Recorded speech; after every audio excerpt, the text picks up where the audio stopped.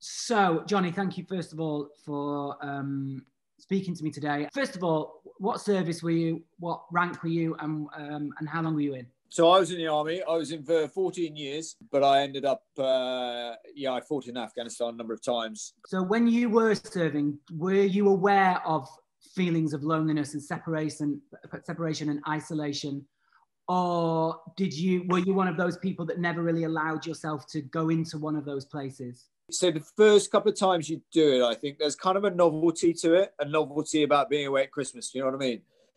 But once you're on your third or your fourth one, um, do you know what? It gets really, really tough. I remember, you know, coming back from one of my tours in Afghan in 2010, my my daughter li- literally like didn't really know who I was anymore, um, and you know, and that that's uh, pretty extraordinary stuff. Um, and people are doing it day in day out year in, year out um, in our military uh, and their families' commitment, which is something that SSAFA do so well. I mean, uh, I think it's it's certainly not underappreciated by people like me, but I have a job of work to get out there and get people to understand what a commitment these people are making to this nation. So, for example, on your last tour, when you were lonely, where did you go to to either access help who did you go to? Was it a person out there? Was it an individual back at home? Or was it somebody like SSAFA, an organization? Where did you seek that help from?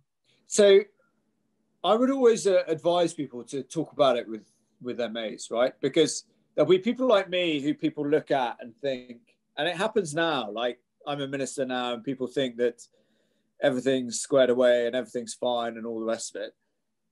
Um, the reality is very different right? We're all individuals and we all are human and we'll have the same emotions as anybody else. And actually, if you sit down with someone and you say, mate, it's Christmas Eve and my God, I really miss my kids tonight.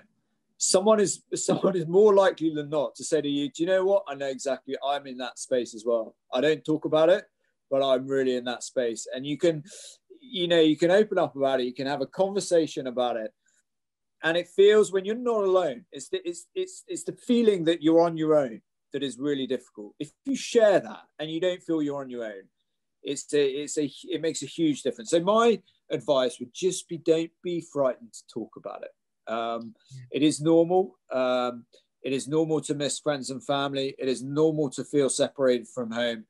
Um, and I would encourage you, you know, anybody to speak about it. And if you're in the UK and you know you can access people like SSAFA, fantastic. Frankly, I mean, SSAFA have done some amazing stuff over the years, sending stuff out to theatre, right, and making, you know, facilitating presents and so on coming out. You know, that's a big part of it. But another big part of it is looking after the family at home making sure that uh, everything's squared away at home. And SSAFA plays such an important role in that.